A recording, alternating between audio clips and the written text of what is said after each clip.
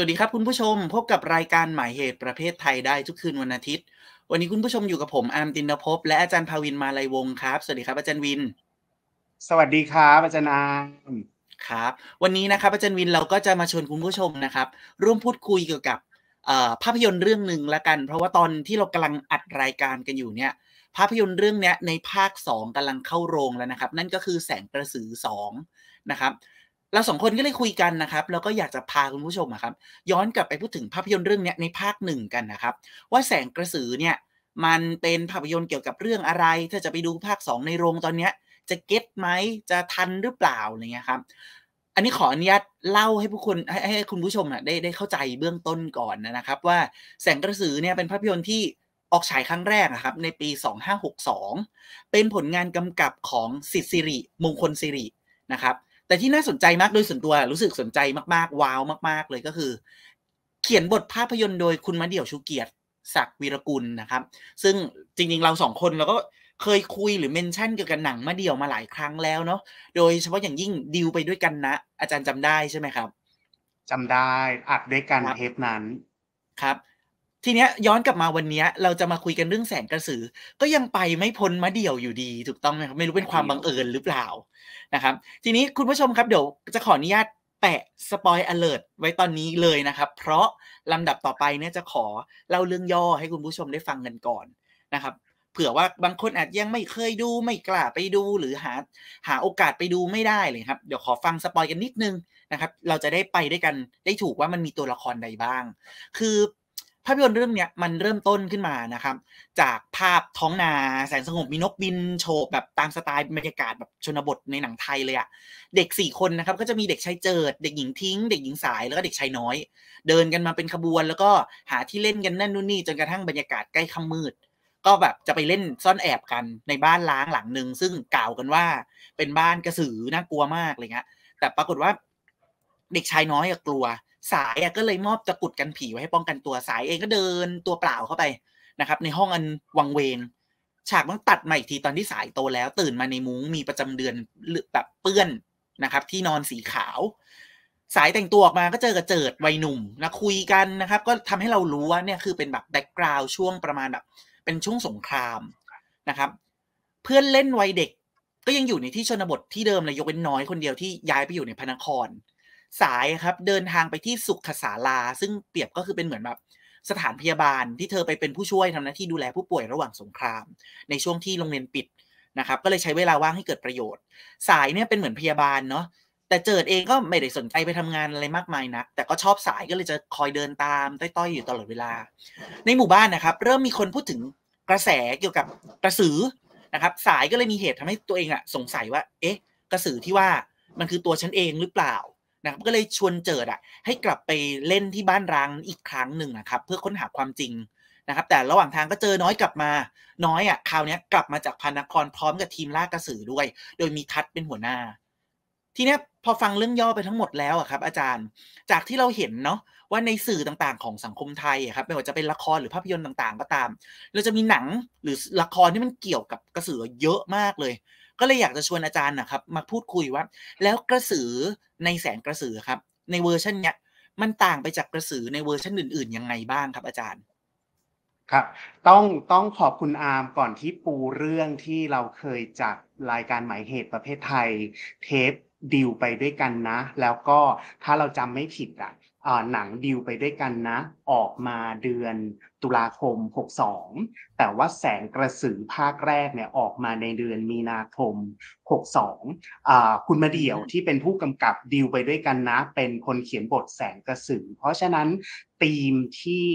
ที่เราจะพูดถึงในรายการเนี้ย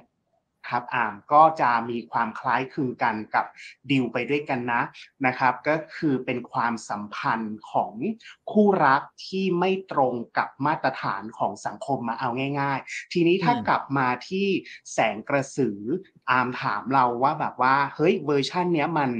มันต่างหนังต่างจากหนังเกี่ยวกับกระสือเวอร์ชั่นอื่นๆยังไง ส่วนตัวดูหนังเรื่องนี้แล้วเราคิดว่า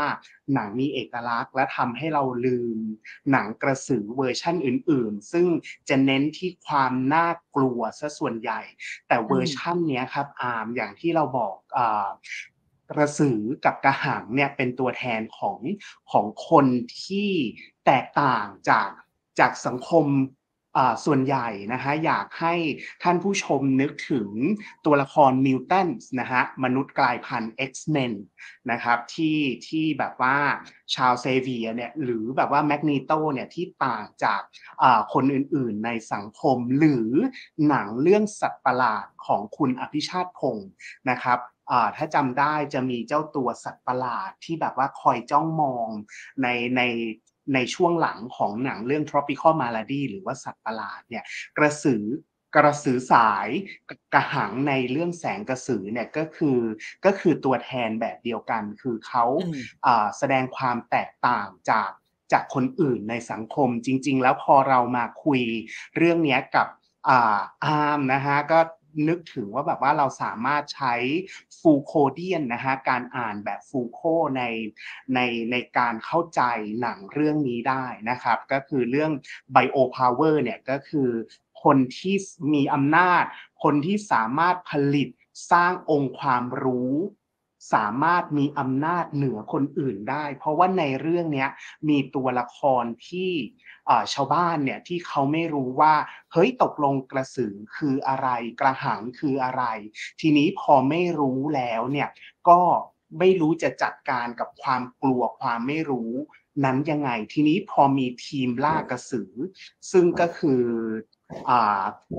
ชื่อเนี่ยเราเดี๋ยวก่อนนะจำไม่ได้ชื่อทัศมั้งอ่าใช่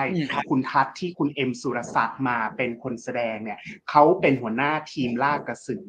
นะครับ น้อยพาคนพวกนี้เข้ามาในหมู่บ้านแล้วคนพวกนี้สถาปนาตัวเองว่าเป็นผู้รู้ เรื่องกระสือนั่นนี่นู่นสามารถเล่าเรื่องได้ ทีนี้พอเขาสามารถผลิตองค์ความรู้ได้ทำให้พวกชาวบ้านที่ไม่รู้แล้วก็กลัว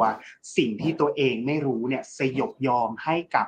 ให้กับพัดกับพักพวกก็ตกกลายเป็นทาสนะครับ ทีนี้ในความไม่รู้เนี่ยมันมีตัวละครตัวอื่นอีกสองตัวที่เราคิดว่าน่าสนใจอะ อาร์มก็คือตัวละครน้อยกับตัวละครสาย ที่เขาจัดการกับความไม่รู้แตกต่างจากชาวบ้านคนอื่น ทีนี้อีกอย่างหนึ่งที่เราอยากเสริมพอเมื่อกี้เราบอกว่าหนังเรื่องนี้มันมีโทน X-Men Mutants กับสัตว์ประหลาดนะครับในขณะเดียวกันเนี่ยการล่ากระสือของชาวบ้านเนี่ยมันก็ให้ ความรู้สึกเหมือนล่าแม่มดนะอาร์มในในบทละครเรื่อง The Crucible ของอาร์เตอร์มิลเลอร์ที่แบบว่ามีฉากหลังของการล่าแม่มด แม่มดในความหมายที่ว่าเป็นผู้หญิงที่ ที่มีที่มีความเข้มแข็งไม่สยบยอมให้กับผู้ชายแล้วก็บรรทัดฐานทางสังคมเขาอยู่ได้ด้วยตัวเอง พวกนี้ก็ไล่ล่าเหมือนที่ไล่ล่ากระสือสายในเรื่องนี้ เพราะฉะนั้นเราคิดว่าหนังเรื่องนี้มันมีการประกอบรวมของแบบว่าหลาย ๆ โทนเข้าด้วยกันนะครับ ทีนี้เมื่อกี้ที่เราบอกว่าสายกับน้อยเนี่ยเขา เขาจัดการกับความไม่รู้ต่างกันกับชาวบ้านคนอื่น น้อยทำยังไง ทีนี้ต้องบอกว่าน้อยเนี่ยคือเด็กที่ไปไปเข้าไปในพระนครที่อามบอกเมื่อกี้เขาไปเรียนแพทย์นะครับอ่านทีนี้พอกลับมาอีกครั้งหนึ่งตัวละครน้อยเนี่ยเป็นตัวแทนของของวาทกรรมวิทยาศาสตร์การแพทย์เขาไม่รู้ว่า สิ่งที่สายเป็นคืออะไร มันมีอยู่คืนหนึ่งที่แบบว่าเขาวิ่งตามแสงวิบวับไปที่บ้านสายแล้วก็ปีนไปเจอเจอช็อตที่สายสวมหัวกับตัวเข้าด้วยกันก็ตกใจแล้วพอไม่รู้ ก็พยายามแสวงหาคำตอบโดยใช้คำอธิบายทางวิทยาศาสตร์ มาทำมาทำความเข้าใจ แต่เขาไม่สามารถทำความเข้าใจ อันนั้นได้พอไม่สามารถอธิบายด้วยวิทยาศาสตร์ ก็หันไปใช้ประวัติศาสตร์นะครับอ่านอันนี้คือเมื่อกี้กลับไปที่ฟูโกที่เหมือนกับเราอ่านหนังสือเล่มที่ชื่อว่า history of sexuality ที่ฟูโกบอกว่า เฮ้ย จริง ๆ เราอย่าไปมองการรักเพศเดียวกันว่าอยู่ดี ๆ แบบ pop up มันเกิดขึ้นมา เพราะว่าวิธีการมองแบบนั้นน่ะมันทำให้การรักเพศเดียวกันเป็นสิ่งผิดปกติ เป็นสิ่งประหลาด ไม่มีที่มาที่ไปอยู่ดีๆ ก็เด้งขึ้นมา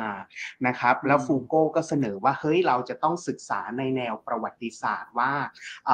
การรักเพศเดียวกันมันถูกประกอบสร้างขึ้นมายังไง ที่เราเกริ่นเรื่องเนี้ยเพราะว่า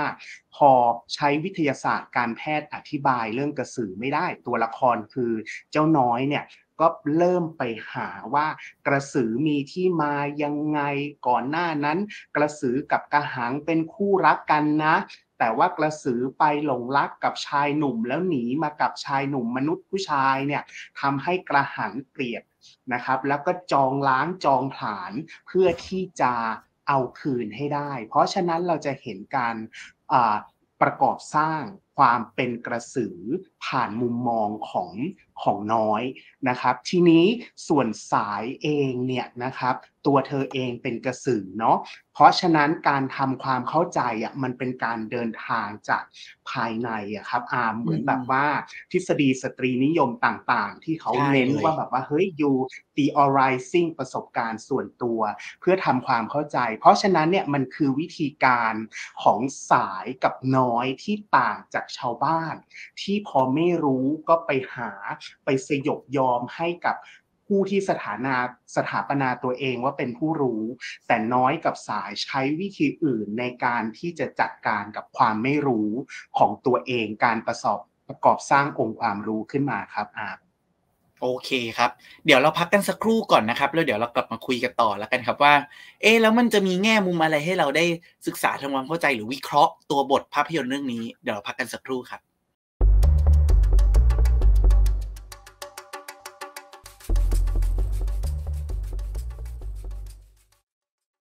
คุณผู้ชมยังอยู่กับผมอาร์มตินภพและจารย์ภาวินนะครับ เรากำลังคุยกันเรื่องภาพยนตร์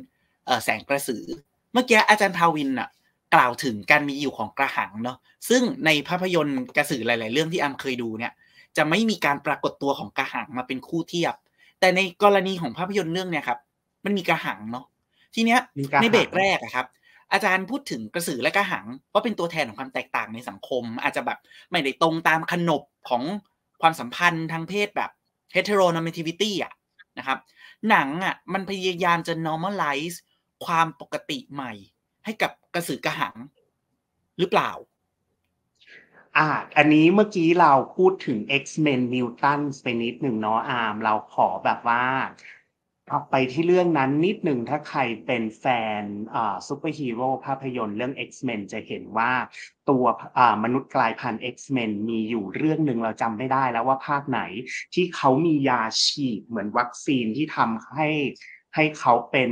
เป็นเป็นคนปกติปกติในแบบว่าเครื่องหมาย quotation เนี่ยนะครับเพราะว่าเขาไม่อยากเป็นมนุษย์กายพันธุ์นะเขาอยากเป็นเหมือนคนอื่นๆในเรื่องในเรื่องกระสือแสงกระสือเนี่ยครับอาร์มมันก็มีฉากที่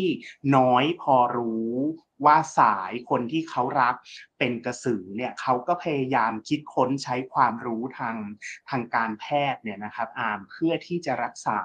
ให้สาย หายจากการเป็นกระสือ อันนี้มันคือการใช้วาทกรรมวิทยาศาสตร์การแพทย์ เยียวยาให้หายจากแบบว่า เหมือนเราที่แบบว่าแต่ก่อนเป็นเกย์คือแบบว่าหาวิธีการรักษา แต่หนังเรื่องนี้เขาเราดีใจที่สุดท้ายแล้วน้อยไม่ประสบความสำเร็จในการคิดยาคิดค้นวิธีในการรักษาสาย ทีนี้พอเขาไม่สามารถรักษาสายให้หายจากการเป็นกระสือได้เนี่ยมันก็เป็นการเขาเรียกว่าเรียนรู้วิธีใหม่ที่จะเรียนรู้ที่จะอยู่กับสายความเป็นกระสือของสายเนี่ยนะครับเราชอบฉากที่น้อยเอาไก่ทุกคืนเนี่ยน้อยไม่อยากให้สายออกถอดหัวออกไปล่าเนาะเพราะว่าเดี๋ยวจะเจอกับไอ้พวก เจ้าทัดที่แบบว่าลากกระสืออยู่ ก็หาวิธีเอาไก่ตายเนี่ยมาวางไว้ให้ตรงใต้ถุนเรือนนะครับอ่าทีนี้สายก็หย่อนไส้ขึ้นมาลากไก่ขึ้นไปกินบนห้องฉากแรกอะที่เราเจอเราก็ เอ้ยมันก็แปลกๆดีในความรู้สึกเรา เพราะว่าในหนังเวลาเราเห็นตัวพระกับตัวนางจีบกันห่วงกันเนี่ยมันจะไม่ใช่เซนส์เนี้ยอันเนี้ยเหมือนกับว่า ตัวพระเอกเอาไก่ไปแล้วนางเอกก็ห้อยไส้มาแบบว่าลากไก่ขึ้นไปกินบนเรือน ทีนี้ฉากเนี้ยมันมีซ้ำๆกันนะครับอามซ้ำๆทำให้เราชินกับความปกติใหม่ ที่อามว่าเมื่อกี้นี้ พอดูไปสักสองสามซีน เริ่มน่ารัก เริ่มมีซีนที่แบบว่านางเอกห้อยไส้ลงมาแบบมือแม่นาคอย่างเงี้ยนะพอแบบว่า จะลากไก่ไปกินก็เอาไส้แบบว่าตบหน้าชายหนุ่มด้วยความรักขอบคุณนะ แล้วก็เอาไส้ดึงไก่ขึ้นไปกิน แล้วมันก็จะมีอยู่ฉากหนึ่งที่ ที่นางเอกพอเอาไก่ไปกินปากมีคราบเลือด เอาแบบว่าชะโงกหน้าผ่านรูขึ้นมาแล้วก็แห่ใส่ใส่น้อยเนี่ยก็ก็ทำให้เป็นแบบว่าเป็นฉากเกี่ยวกันระหว่างพระเอกกับนางเอกที่เป็นปกติใหม่ที่อามว่าเมื่อกี้นะครับ แล้วก็ซีนวันรุ่งขึ้นเหมือนกับกระสือสายไม่ได้ออกไปล่า หาสัตว์กินด้วยตัวเองสักเดือนหนึ่งแล้วนะฮะก็พระเอกก็ถามเจ้าน้อยนี่ก็ถามว่าเบื่อไก่หรือยังนั่นนี่นู่นเราว่ามันเป็นมันทำให้ฉากนี้น่ารักดีนะฮะแล้วก็อีกอย่างหนึ่งที่เราอยากเสริมเนี่ยคือหนังของเอ่อหนังของคุณมาเดี่ยวที่อามเกริ่นไปเมื่อกี้เนี่ยจะ จะเน้นกับความรักที่ไม่ตรงตามมาตรฐานสังคม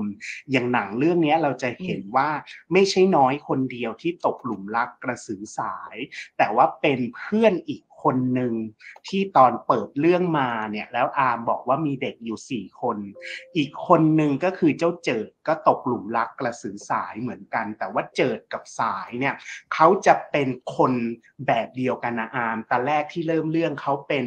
เขาเป็นคนเหมือนกันถูกไหมฮะความรักก็จะไม่สมหวัง ทีนี้ตอนหลังพอสายกลายเป็นกระสือ เจ้าเจิดกลายเป็นกระหังที่อามบอกว่าไม่เคยเห็นกระหังเขามีความ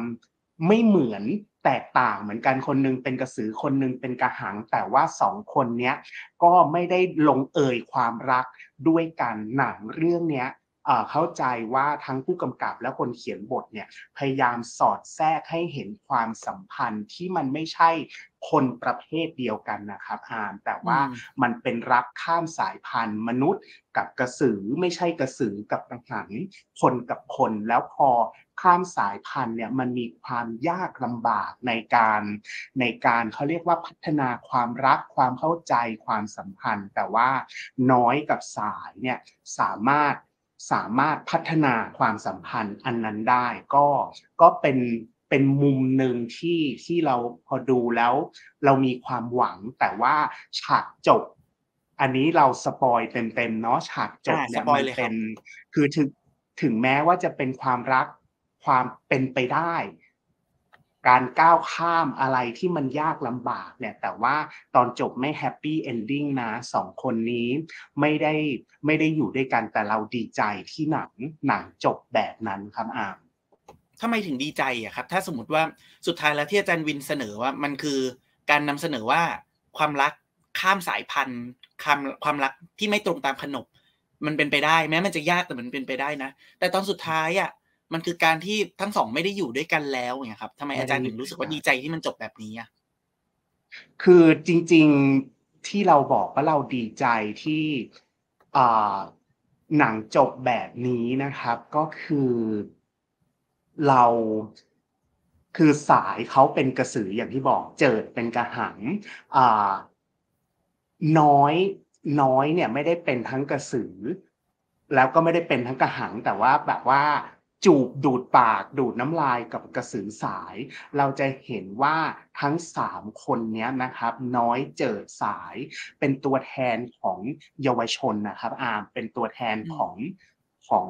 ของเด็กที่เติบโตมาในสังคม แล้วถูกมองว่าเป็นสัตว์ประหลาดนะครับ แต่ว่าในสายตาคนอื่นเนี่ยเขาดูแปลกแยกนั่นนี่นู่นคนไม่เข้าใจ แต่ว่า เขาทั้งสามก็คือคนที่มีความฝันความหวัง เราคิดว่าเฮ้ยพอจบแบบเนี้ยฉากจบเราสปอยนะอ่าคนยิงเข้าชาวบ้านน่ะยิงปืนกระสุนแสกหน้ากระสือสายแล้วคนยิงเนี่ยก็คือพ่อของเจิดก็คือครอบครัว ของของด้วยกันเองเนี่ยก็ยังทำร้ายสามคนนี้ แล้วพอกระสือสายโดนยิงแสกหน้าครับอามมันมีภาพแฟลชแบ็กทำให้แบบว่าเราเห็นภาพว่าสายคิดอะไรในหัวบ้างนะครับ เราจะเห็นว่ามีภาพว่าเฮ้ยสายใฝ่ฝันอยากเป็นพยาบาล อยากไปเที่ยวท่องโลกกว้าง อยากไปพระนคร อยู่กับคนที่ตัวเองรัก แค่นั้นเองนะครับ แต่ว่า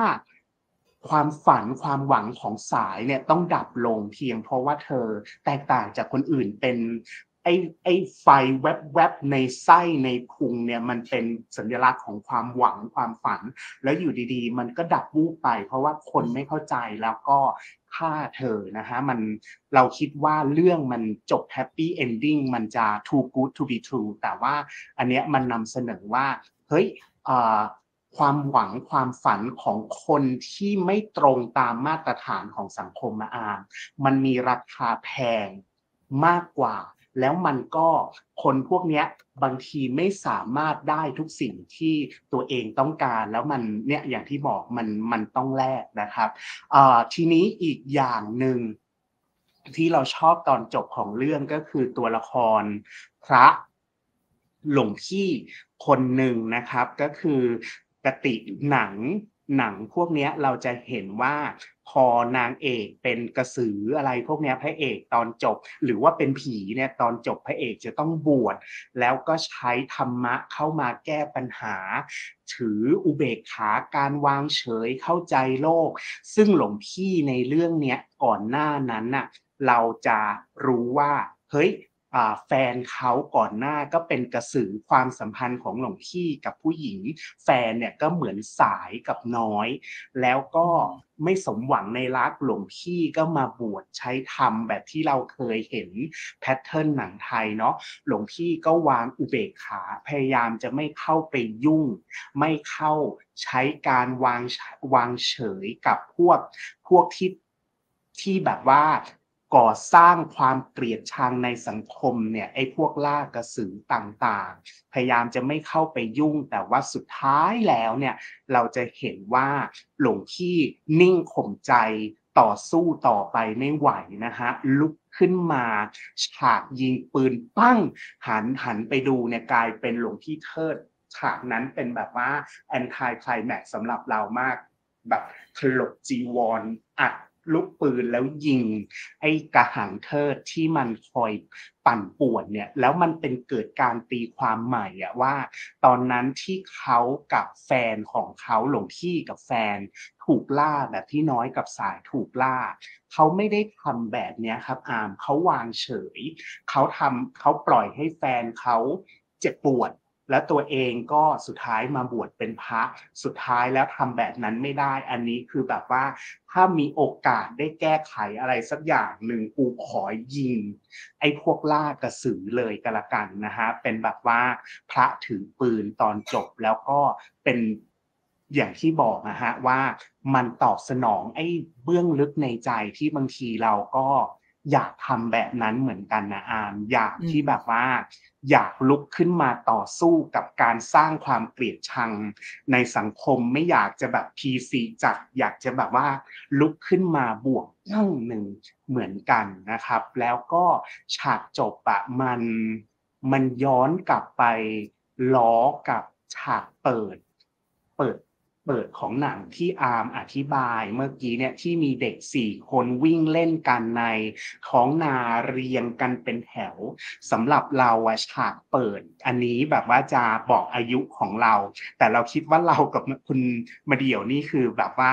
ร่วมยุคเดียวกันมันทำให้นึกถึงหนังสือเรียนมานะมานีปิติชูใจวีระอาอามที่แบบว่าเด็กมันวิ่งเล่นกันอยู่บน ท้องทุ่งในท้องทุ่งอะ แล้วฉากตอนจบอะเราจะเห็นว่ามันเอ็กโคมันสะท้อนกลับไป เพราะว่าเราจะเห็นภาพวัยรุ่นเยาวชนสามคนก็คืออสายน้อยเจอนั่งกันอยู่บนเขียงนาครับอ่าแล้วก็ยื่นนิ้วก้อย เกี่ยวนิ้วก้อยกันสัญญาว่าพอสงครามจบจะ จะพากันไปเที่ยวในพระนครคือ ความเป็นเด็ก ความสดใส ความเขาเรียกว่าความหวังความฝันน่ะมันไม่ได้จางไปเลยตั้งแต่ตั้งแต่ตอนแรกอะความอินโนเซนส์ความเพียวของเด็กเหล่านี้ยังอยู่ การที่เขากลายเป็นกระสือกระหังไม่ได้หมายความว่าไอ้ความใส่ซื่อมันพลากไอ้นั้นออกไปจากเขา แต่ว่าสุดท้ายแล้วคนที่ทำลายความใส่ซื่อเนี่ยก็คืออสังคมก็คือครอบครัวของของเด็กสามสี่คนนั่นเองนะฮะคือไม่ได้ happy ending แต่เราคิดว่ามันสะท้อนสิ่งที่เกิดขึ้นในในสังคมเราได้เป็นอย่างดีครับอายิ่งอาจารย์วินสรุปยังไงครับ ยิ่งเห็นความเชื่อมโยงโดยตรงเลยอะ ระหว่างแสงกระสือกับดิวไปด้วยกันนะที่เราเคยได้พูดกันไปแล้วอะครับ แม้มันจะไม่ได้จบอย่าง happy ending หรือมันจะมีปมเล่นกับเรื่องของความสัมพันธ์แตกต่าง แต่สุดท้ายมันระหว่างทางมันสะท้อนให้เราเห็นภาพที่มันเข้มข้นมากเลยว่าในในการจะต้องสร้างความสัมพันธ์ที่มันไม่ตรงตามขนบเนี่ย มันมีอุปสรรคอะไรรอเราอยู่บ้าง มันมีเรื่องราวแบบไหนบ้างเนี่ยครับ ก็เป็นบทวิเคราะห์ที่